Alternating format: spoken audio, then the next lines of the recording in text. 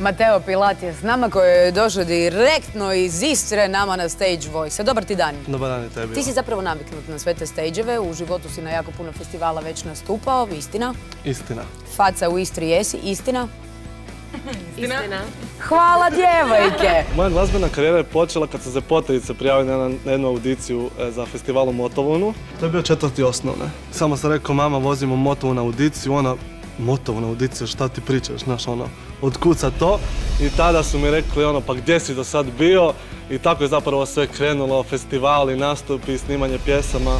Zapravo od prvog nastupa na festivalu gdje smo se zapravo sreli, iskompali, ovaj, E, izveo je tako jedan fantastičan muški falset koji se vrlo rijetko čuje. Na sate solo pjevanja sam išao kod jednog velečasnog, što je zapravo vrlo neobično, ali pošto on završio solo pjevanje, jako me puno naučio o tehnici i e, disanju u pjevanju.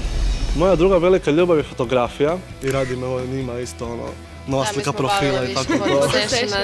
Znači sve četiri ste mu modeli? Dobro, mi još čekamo na red, imamo četiri. Mi smo malo predaleko za model. Završe. Pa ti putuješ četiri prijateljice iz Istre, kako je izgledala tu put?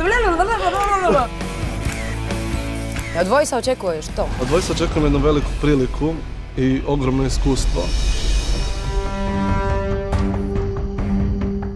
Volio da mi se okrene Jacques Houdek, pošto je on e, jako bitan lik u mojoj glazbi, jako me puno e, inspirirao i jednostavno volim to što on radi.